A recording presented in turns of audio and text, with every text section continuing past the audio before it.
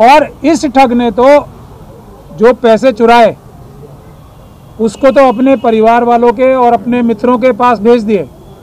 ये तो सरकारी पैसा है ना, इस ठग ने अपनी जेब से कौन से पैसे खर्च किए ये सवाल का जवाब इससे पूछा जाए।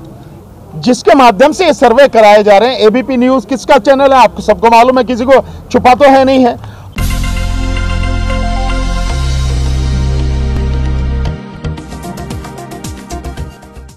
देखिए उसने कोई स्कूल नहीं बनवाया। आप मुझे बताइए आप सारे मीडिया के साथी मैं सबसे पूछना चाहता हूँ और भी जो लोग हैं और छोटे ठग से भी पूछना चाहता हूँ उसकी पूरी टीम से भी पूछना चाहता हूँ कि कौन से स्कूल और कौन से कॉलेज बनवाए।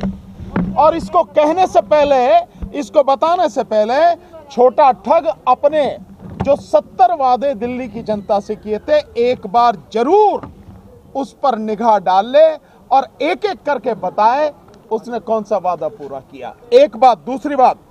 मैंने कहा था, फिर आपको बता रहा हूँ। केजरीवाल का एक वीडियो है जिसमें कह रहा है केजरीवाल कि जो हमने स्कूलों की हालत सुधारी है, उस वजह से चार लाख बच्चे जो निजी स्कूलों में पढ़ते थे, वो बच्चे अब सरकारी स्कूलों में आ गए हैं अपना नाम कटा के। तो मुझे ये बताइए कि जो चार लाख बच्चे आए हैं चार लाख बहुत बड़ी संख्या है। वो चार लाख बच्चे जो आए हैं तो स्कूलों की संख्या बढ़नी चाहिए? वो तो बढ़ी नहीं। दूसरा बीस हज़ार। कितने? बीस हज़ार। क्लासरूम आपके पास कहाँ से है रिकॉर्ड कि बीस हज़ार क्लासरूम बढ़ाए हैं? बीस हज़ार क्लासरूम में तो मैं कहता हूँ हज़ारों स्कूल बन जाएँगे। एक स्कूल में अगर बीस भी हो गए तो एक हज़ार स्कूल तो होगी ना होगे सीधे किसी ये ये स्थिति इसी से आप लगा सकते हैं कि झूठ बोला दूसरी बात जो मैं आपको बताना चाहता हूँ, अगर चार लाख बच्चे आए हैं तो पचास स्कूलों को अन्य उन स्कूलों में मर्ज क्यों किया जा रहा? मतलब पचास स्कूलों को खत्म क्यों किया जा रहा है? इसी से आपको पता लग जाएगी कि वो केजरीवाल वाकई में कितना बड़ा महाठग है, छोटा ठग कहना भी मैं समझता हूँ बेकार ही है उसके लिए। ये चीज़ों को समझने की ज़रूरत है। इसलिए हम लोगों को बता रहे हैं कि जो भी आपसे कहा जा रहा है, जो आपको धोखा दिया जा रहा है, उस धोखे में आप न आए।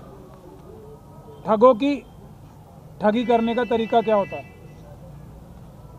स्कूल, कॉलेज बहुत सारे ठगों ने बनाए जो ये पॉन्जी स्कीम्स करते हैं। ये सारी चीज़ें जो करते हैं, जो क्रिमिनल्स होते हैं ना फाइनेंशियल क्राइम्स करने वाले, वो अपनी छवि सुधारने के लिए इस तरह की नाटक करते हैं, अच्छे कार्य करने की। सोशल वर्क करने का नाटक करते हैं, सारे ठग करते हैं। और इस ठग ने तो जो पैसे चुराए, उसको तो अपने परिवार वालों के और अपने मित्रों के पास भेज दिए। ये तो सरकारी पैसा है ना, इस ठग ने अपनी जेब से कौन से पैसे खर्च किए हैं? ये सवाल का जवाब इससे पूछा जाए। क्या इसने अपने जेब से, अपने पिताजी की जेब से, या अपने माताजी की प्रॉपर्टी में से कोई पैसा खर्च करके एक स्कूल बनाया है, या एक क्लासरूम बनाया है, या इस जनता और ख़ास तौर पे एससी सब प्लान का पैसा चुराया है जो पचास हज़ार करोड़ से ज़्यादा, उसमें से बनवाया है। ये सवाल का जवाब है। इससे अब पूछिए इस ठग से कि तूने अपने पास से कैसे, कौन से अपने पिताजी के पास से, माताजी के पैसे से, या अपनी तनख्वाह से, जो आईआरएस में थे तुम, या जो आईआरएस में रहते हुए रिश्वत ली थी, उस पैसे से कौन सा स्कूल बनवाया ये देखिए, ये तो जो सर्वे आते हैं, आपको मालूम है, सारे के सारे सर्वे प्रायोजित हैं। और किसके द्वारा कराए जा रहे हैं? और कौन है? जिसके माध्यम से ये सर्वे कराए जा रहे हैं। एबीपी न्यूज़ किसका चैनल है? आपको सबको मालूम है, किसी को छुपा तो है नहीं है। और भी जो चैनल आते हैं, वो जो सर्वे दिखाते हैं, वो उन्हीं के प्रायोजित है ताकि एक माहौल बनाया जाए। यार, यही तो जीत रहे हैं, क्योंकि कुछ लोगों का जो वोट करने का जो ट्रेंड होता है, वो तो अरे यार, जो जीत रहा है, उसी को दे दो काय को अपनी वोट खराब कर। ये लोगों का है। हालाँकि ये तरीका बिल्कुल गलत है। आप व्यक्ति को समझिए व्यक्ति के साथ में जो टीम है उनको देखिए, जो पार्टी है उसको देखिए, व्यक्ति की योग्यता देखिए। ऐसे ही नहीं कि हाँ भाई ये जीत रहा है। ये माहौल तो प्रचार के माध्यम से बनाया जा रहा है और प्रचार के माध्यम में ये दोनों ठग और इनकी पार्टियाँ नंबर वन है, इसमें तो कहने वाली बात नहीं है। छींक भी आ जाए तो आपको देखेंगे कि केजरीवाल पूरी दिल्ली को जो है होर्डिंगों से पाट देता। आता नहीं होता। हर पंद्रहवें दिन में, दस दिन में आप देखिए केजरीवाल का एक नया होर्डिंग आपको पूरी दिल्ली में दिखाई देगा। ठीक इसी तरह से। और सीखा कहाँ से है? वहीं से सीखा है बड़े ठग से। क्योंकि बड़े ठग का जो है चार करोड़ रुपया हर दिन का, प्रतिदिन की बात बता रहा हूँ, सिर्फ़ उसके विज्ञापन में खर्च होता है। किसका पैसा? इनके बाप का पैसा है जिसे खर्च कर रहे हैं। ये सारा का सारा देश की जनता का, आप सबका पैसा है टैक्स पेयर का पैसा है, जिसे ये लोग खर्च करते हैं। और वैसे भी ऑफिशियली जो प्रचार का, जो दिल्ली सरकार का ही बजट है, साढ़े पाँच सौ करोड़ रुपए सालाना का है। कहाँ से आता है ये पैसा? इस पैसे में कितने लोगों को नौकरी मिल सकती है? कितने लोगों को रोज़गार मिल सकता है? तो ये जो सारी चीज़ें हैं, केवल प्रचार है। मैं समझता हूँ, हम लोग निश्चित रूप से अगर इनकी तरह प्रचार की बात की जाए, हम वो पैसा नहीं खर्च कर सकते। पर हम अपनी मेहनत से रात दिन अपना काम करके, लोगों के साथ रह के, गली मोहल्लों में जाके हर जगह जाके हम लोगों को समझा सकते हैं कि भाई वाकई में आपको किस को वोट देनी चाहिए किस तरह से वोट देनी चाहिए ताकि आपके हकों का रक्षा की जा सके।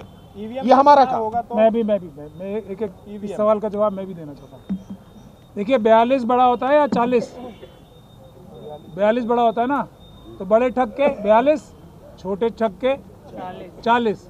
इसीलिए तो आज नामकरण हुआ है। और भानु जी ने भी मुझे याद दिलाया कि ये ठगाले जहाँ पे से नागपुर में। नागपुर में इनका हेडक्वार्टर है बड़े का और छोटे का दोनों का। तो ये ये जो ये सर्वे हुआ है ये भी एक ठगों की स्कीम है। हम जनता से दिल्ली की जनता से ये आह्वान करते हैं कि अपना कैंडिडेट ढूंढो कोई। ये ठगों की पार्टियों में मत जाओ। अपना कैंडिडेट ढूंढो किसी बड़ी पार्टी में जाने की ज़रूरत नहीं है। ये लोकल चुनाव है। अपना इंडिपेंडेंट कैंडिडेट जीतो। किसी छोटी पार्टी का कैंडिडेट ढूंढो। जो आपके कब्जे में रहे आपके काबू में रहे आपके साथ न्याय करे। कम से कम इस चुनाव में तो ऐसा आदमी ढूंढो जो आपका अपना आदमी हो किसी द्वारा किसी पार्टी द्वारा आपके ऊपर थोपा ना गया हो। अपने कैंडिडेट्स खुद चुनिए आपने वोट देनी है और कॉरपोरेशन में तो कम से कम अपने लोग जिता के भेजिए ताकि एक नई प्रथा शुरू हो और उससे पूरे देश का समाधान होगा। इसलिए हम गुजारिश ये करते हैं कि हर एक चुनाव में इस एमसीडी के चुनाव में अपना कैंडिडेट चुने इंडिपेंडेंट लड़वाएँ उसे या किसी छोटी पार्टी से लड़वाएँ और इन बड़ी पार्टियों का पूरी तरीके से बहिष्कार करें। हम लोग ठग हैं क्या? हम लोगों ने कुर्बानियाँ दी अरविंद केजरीवाल ने कौन सी कुर्बानी दी थी? उसकी पहले की शक्ल और बाद की शक्ल देखिए और हमारे लोगों की पहले चमकदार चेहरे देखिए और अब जब हम सात साल से संघर्ष कर रहे हैं तो हमारे चेहरे देखिए। इसी बात से पता लग जाता है अरविंद केजरीवाल ने और ये बड़े ठग की पार्टी ने हम लोगों को जान से मरवाने की कोशिश की। हम लोगों के ऊपर रेडें करवाई। और अरविंद केजरीवाल की जो ये ठग पार्टी है, उसने दिल्ली दंगों में, मैं साफ़ तौर पे बताना चाहता हूँ, जब जो सरकारी वकील हैं, वो बड़े ठग की पार्टी वाले रखने के लिए हामी अरविंद केजरीवाल के वकीलों ने हाईकोर्ट में बढ़ी। जब हम मना कर रहे थे, हम इस बात के लिए लड़ रहे थे कि जो सरकारी वकील होने होते हैं, वो जो सरकारी वकील जिस अदालत के हैं, वही रहने चाहिए। दिल्ली पुलिस को इस बात का मौका नहीं मिलना चाहिए कि वो अपने प्राइवेट वकील लें और उनको सरकारी वकील बनाएँ। तो इसी अरविंद केजरीवाल के वकीलों ने इस बात के लिए हाँ की थी। तो दोनों ठग मिले हुए हैं। हम लोगों की कुर्बानियाँ हैं।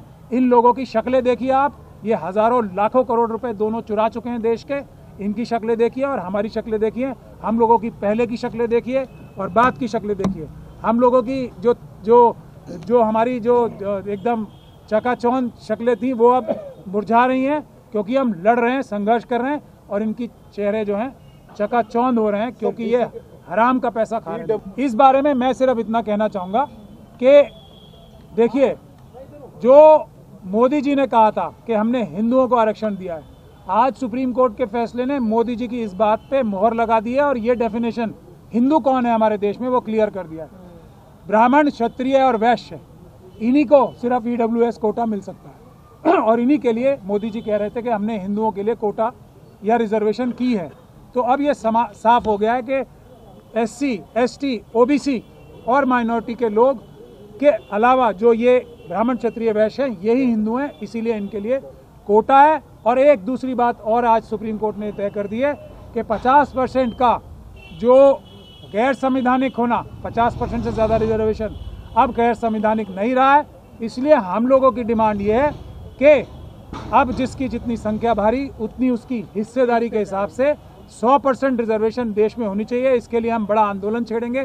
भानु जी और हम मिलके और रितु जी मिलके और देश की सभी पार्टियों से जो बाबा साहब के आइडियोलॉजी पे चलती हैं और जो हिंदू हैं, जो मनुवादी मानसिकता से आते हैं, ब्राह्मण, क्षत्रिय, वैश्य, उनको 10 परसेंट दिए हैं।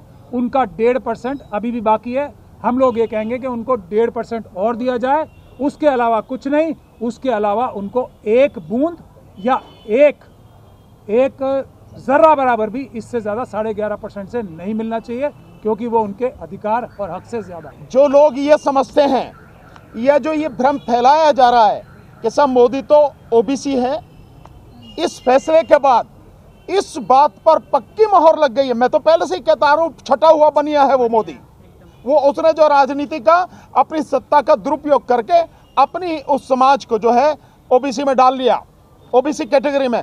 लेकिन इस फैसले के बाद, मोदी के ये कहने के बाद कि हमने हिंदुओं को दिया है, और इस फैसले के बाद, मोहर लगने के बाद ये बात पक्की हो जाती है कि जिन लोगों के दिमाग में ये गलतफहमी है कि बड़ा ठग, यानी मोदी, अगर लोग समझते हैं कि ओबीसी है, वो ओबीसी नहीं है, वो सवर्ण है, वो बनिया है, तुम्हें कुछ नहीं देगा तुम्हें मूर्ख बना रहा है। आठ साल हो गए हैं और कितनी देर तक बनना चाहोगे आपको तय करना है। सर, और दूसरी बात सरकार के साथ साथ हम बहुत पहले से कहते रहे हैं अदालत भी आपको न्याय नहीं देगी। इस देश में न्याय किसी के लिए नहीं है सिर्फ़ उन्हीं के लिए है जिनके हाथ में सत्ता थी जिनके हाथ में सत्ता है। सिर्फ़ उन्हीं के लिए है न्याय। और वो सवर्णों के अलावा कोई नहीं है, बाकी किसी को देगी नहीं। ये फैसला इस बात को सिद्ध करता है। वही जो मैं महमूद पराचा साहब की बात को आगे बढ़ा करता हूँ, जो सुप्रीम कोर्ट कल तक ये कहती थी कि 50 परसेंट से ज़्यादा आरक्षण नहीं होगा। अब 50 परसेंट तो है ही। इसके साथ साथ में 10 परसेंट और हो गया ये। यानी कि साढ़े पचास परसेंट तो पहले ही पक्का कर रखा था सवर्णों के लिए। ब्राह्मण, बनिया और ठाकुरों के, यानी छत्रियों के लिए। अब ये 10 परसेंट और हो गया। मतलब सीधा सीधा जिनकी आबादी इस देश में साढ़े ग्यारह, बारह परसेंट या ज़्यादा से ज़्यादा पंद्रह परसेंट मान लो, उनके पास में जो आज की तारीख में रिज़र्व है, जो रिज़र्व कोटा है, वो साठ दशमलव पाँच परसेंट है। इससे बड़ा अन्याय, इससे बड़ी बेईमानी क्या हो सकती है? इस बात को आप सब सोच सकते हैं। एस सी अगर उसे ज़िंदा रहना है तो उसे संघर्ष करना पड़ेगा। उसे बाबा साहब के बताए हुए रास्ते पर चलना पड़ेगा समझना पड़ेगा। बहुजन नेता तो अभी भी है लेकिन समाज नहीं समाज समझ पा रहा कि बहुजन नेता कौन है। केवल राजनीति में रहने वाले लोगों को या जिनका प्रचार होता है या जिनका प्रचार किया जाता है या जिनको ये सवर्ण लोग थोपते हैं कि तुम्हारे नेता यही है बहुजन के आप उन्हें बहुजन समाज उनको नेता समझता। हाँ निश्चित रूप से जैसे मोदी जी का एग्ज़ाम्पल है कि कहा गया भाई वो भी ओबीसी है। अब कैसा ओबीसी है? आपके सबके सामने आ गया। सो समाज को समझना पड़ेगा कि उसका असली नेता कौन है। कौन उनके लिए लड़ रहा है ईमानदारी से? कौन इस काबिल है? और कौन उन्हें उनका हक दिला सकता है? नहीं, इनकी आँखें बहुत पहले से खुली हुई हैं। अफसोस, समाज इस बात को नहीं समझ पा रहा। इनकी आँखें बहुत पहले से। मैं आपको बताता हूँ बहुत अच्छी तरह से। सीए एनआरसी के आंदोलन में हमने जगह जगह जाके दिल्ली में शायद एक आध दो जगह मुश्किल से रहेंगे वरना जहाँ जहाँ भी 25-26 जगह आंदोलन चल रहा था, मैं व्यक्तिगत रूप से वहाँ पर गया आंदोलन को संबोधित करने। जहाँ भी मैं गया, मैंने अपना फ़ोन नंबर न केवल अनाउंस किया मोबाइल फ़ोन उससे माइक से, बल्कि मैंने अपना कार्ड भी दिया। लेकिन जब कोई बात होती है, तब आपको हमारा नंबर याद नहीं आता, तब आपको हम याद नहीं आते, तब आपको दलाल याद आते हैं। तब आपको पुलिस द्वारा बताए गए लोग याद आते हैं। तब समाज को धोखा देने वाले जो आपके बीच के नेता हैं, उनके बताए हुए लोग आपको याद आते हैं। तब नहीं आता? तो गलती किसकी इसमें? हमारी गलती नहीं है। गलती है समाज की। जो समझ नहीं पा रहा कि उसकी लड़ाई लड़ने वाले असली लोग कौन हैं, असली नेता कौन है। अगर समझेगा तो निश्चित रूप से लड़ाई न केवल मजबूती से लड़ी जाएगी बल्कि जीती भी जाएगी। समाज को समझने की ज़रूरत है। हम केवल बता सकते हैं, हर चीज़ बता रहे हैं। ऐसा तो कुछ भी नहीं है जो छुपा रहे हो। एक एक नेता की, ये जो भी है, जो ठग हैं, इनकी एक एक बात अच्छी तरह से बताई, समझाई, लोगों को कानूनी रूप से बताई, समझाई। कानून समझाया। आज वही सारी चीज़ें हो रही है। मैंने मार्च के महीने में कहा था, जब 2021 में और रुद्रपुर में वो थी मीटिंग, बहुत बड़ी मीटिंग थी, मैंने कहा था कि सरकार की इतनी औकात नहीं है कि कृषि कानून वापस न ले, उसे वापस लेने ही पड़ेंगे। इन्हीं भाषा में कहा था। इसी लहजे में कहा था। और आखिरकार मोदी सरकार ने वो वापस लिए। हम तो हर बात बता रहे हैं, हर बात समझाने की कोशिश कर रहे समझना तो आपको है ना? भाई भगवान बुद्ध से भी पूछा। एक बहुत बढ़िया बात है, मैं इसे दो मिनट में खत्म करना चाहूँगा। एक, जहाँ पे भगवान बुद्ध लोगों को शिक्षा दे रहे थे, वहाँ पे एक व्यक्ति कहता था, रोज आता था, उसने एक दिन समय देख के जिस समय वो फुर्सत में थे तो पूछा कि भगवान मैं यहाँ आता हूँ देखता हूँ और आप जैसा गुणी व्यक्ति जिस तरह से सब लोगों को आप शिक्षा देते हैं सो मैं देखता हूँ कुछ लोग तो वाकई में ऐसे हैं कि उनको ज्ञान मिल गया है हैं इतने समझदार। लेकिन कुछ ऐसे अभी ढुलमुल से हैं पर कुछ को तो ऐसा लगता है उनको कुछ समझ में नहीं यार मतलब एमसीडी का टिकट ये सब कुछ क्यों है? प्लीज़ बात सुनिए बीच में बोलने से पहले बात सुनिए आप। जी जी जी ठीक है? तो उन्होंने, भगवान बुद्ध ने समझाया, उन्होंने कहा कि आप कहाँ के रहने वाले हैं? तो उसने कहा कि मैं यहीं का, नहीं, यहाँ पे, यहाँ श्रावस्ती के तो नहीं है आप। श्रावस्ती की सभा की बात। उन्होंने कहा कि नहीं, मैं रहने वाला तो पटना का हूँ, मगध का हूँ, लेकिन यहाँ व्यापार करता हूँ। तो उन्होंने कहा कि आपसे कितने लोग मिले होंगे तो मगध का रास्ता पूछा होगा, बता दिया आपने रास्ता। हाँ भगवान, इसमें छुपाने की क्या बात है? मैंने बता दिया, भाई, चार किलोमीटर सीधे चलो, फिर आगे जाके राइट को मोड़ो, पाँच किलोमीटर वैसे चलना, फिर आगे जाना। मैं रास्ता बहुत अच्छी तरह से बता देता हूँ इसमें छुपाने की क्या बात है? तो जितने लोगों को आपने रास्ता बताया, सारे पहुँच गए होंगे, मगध। कैसी बात कर रहे हैं भगवान? पहुंचेगा तो वही जो चलेगा। अरे, यही बात तो मैं भी कह रहा हूँ, मैं बता ही तो रहा हूँ, रास्ता दिखा रहा हूँ, लोगों को समझा रहा हूँ। लेकिन मंजिल पर तो वही पहुंचेगा जो चलेगा। हम बता रहे हैं, समझा रहे हैं। चलना समाज को।